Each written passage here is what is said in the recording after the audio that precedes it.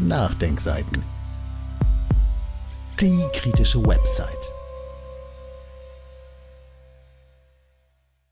Die Auslandseinsätze, die SPD und die Standhaftigkeit von Tobias Riegel.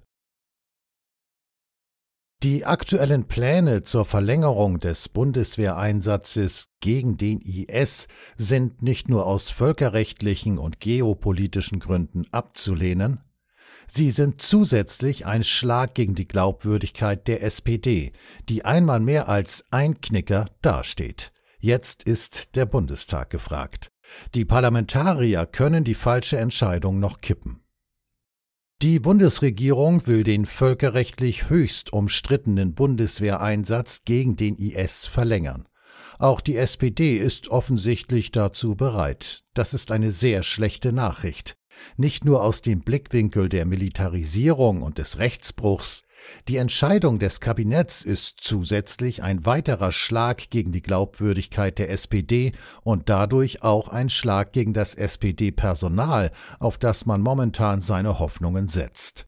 So wird etwa SPD-Fraktionschef Rolf Mützenich durch den Vorgang beschädigt. Die Beschädigung der SPD. Was sind Kabinettsbeschlüsse noch wert? Schließlich hieß es noch Ende August im Spiegel, Zitat, die SPD geht auf Konfrontationskurs zu Verteidigungsministerin Annegret Kramp-Karrenbauer, CDU.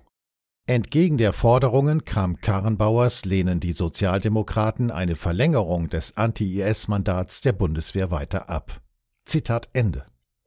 Dass die SPD das Mandat nun doch wieder verlängern wolle, sei eine bittere Niederlage für den Fraktionsvorsitzenden Rolf Mützenich, der noch im Juli etwas anderes erklärt hat, sagte etwa linken Fraktionschef Dietmar Bartsch gegenüber Medien. Man müsse auch die Frage stellen, was Kabinettsbeschlüsse eigentlich noch wert seien. Keine militärische Anschlussversorgung? Offiziell begründet wird die Verlängerung des Bundeswehreinsatzes damit, dass es nicht gelungen sei, die deutschen Kriegsdienstleistungen durch andere Nationen ersetzen zu lassen. Zudem müssten bisherige Erfolge gesichert und ein Wiedererstarken des IS verhindert werden, so der von Medien zitierte Mandatstext. Andererseits droht ein erneutes Abgleiten in unsichere und volatile Verhältnisse mit negativen Auswirkungen auf die gesamte Region. Weitere Hintergründe zum Einsatz und zum Beschluss des Kabinetts finden sich etwa in einem verlinkten Artikel. Demnach soll das Mandat für Aufklärungsflüge deutscher Tornados von Jordanien aus sowie die Luftbetankung von alliierten Kampfflugzeugen mindestens bis Ende März weitergehen.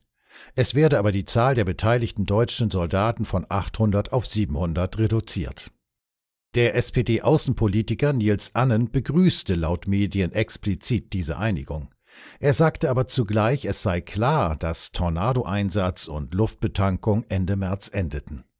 Leider ist das wegen der wiederholten Erfahrungen mit der fehlenden Standhaftigkeit einiger Sozialdemokraten alles andere als klar. Eigentlich wäre angesichts des Zustands der SPD genau jetzt die Zeit für deutliche Zeichen, die den Eindruck der politischen Konsequenz vermitteln, der aktuelle Vorgang signalisiert das Gegenteil, und das ist brandgefährlich für die Sozialdemokraten. Der Bruch des Völkerrechts und die Täuschung des Bundestags. Der linken Verteidigungspolitiker Alexander Neu warf der Bundesregierung laut dpa vor, den Bundestag getäuscht zu haben, indem kein Abzug vorbereitet worden sei. Auch das neue Mandat sehe keinen Abzugszeitplan vor. Mit anderen Worten, die SPD ist mal wieder vor der Union eingeknickt. Der sogenannte Anti-IS-Einsatz läuft faktisch auf unbestimmte Zeit weiter.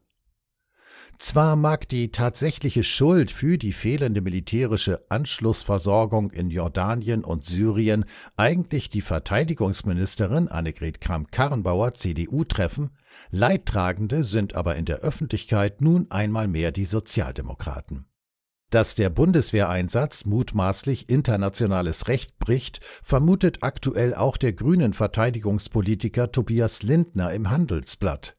So sei die völkerrechtliche Legitimation der Mission im Irak und Syrien mehr als fragwürdig. Absurd und dreist. Und die Fraktionsvorsitzende Sevim Dagdelin stellt laut Medien für die Linken fest, Zitat, es ist nicht akzeptabel, wie die Bundesregierung den Bundestag mit dem neuen Einsatzmandat vorführt. Der Bundestag hat vor einem Jahr den Abzug der Bundeswehr zum 31. Oktober 2019 beschlossen. Das Ende des Mandats kommt mithin für keinen überraschend. Es ist absurd und dreist, wenn Verteidigungsministerin Annegret Kramp-Karrenbauer jetzt sagt, man habe bisher noch keinen Ersatz für die Bundeswehr finden können und müsse daher noch einmal verlängern. Zitat Ende. Die Hoffnung liegt jetzt auf den Abgeordneten. Angesichts des Widerstands aus der Opposition und der vermutlich großen Unzufriedenheit an der SPD-Basis über den Kabinettsvorstoß besteht noch Hoffnung. Der Bundestag muss der Entscheidung zu den Bundeswehreinsätzen noch zustimmen. Jetzt ist also der Moment, um sich direkt an seine oder seinen Bundestagsabgeordneten oder Abgeordnete zu wenden und ein entsprechendes Abstimmungsverhalten einzufordern. Dieses Audio konnte nur entstehen, weil zahlreiche Leser und Leserinnen die Nachdenkseiten fördern und durch Spenden unterstützen. Wenn Sie auch etwas tun wollen, klicken Sie einfach den entsprechenden Button auf unserer Website an. Übrigens, Sie können uns auch bei iTunes, SoundCloud und YouTube hören und wenn Sie mögen, gerne unseren Kanal abonnieren und eine positive Bewertung für uns abgeben. Wir freuen uns über Ihre Unterstützung und die Weiterverbreitung unserer Inhalte.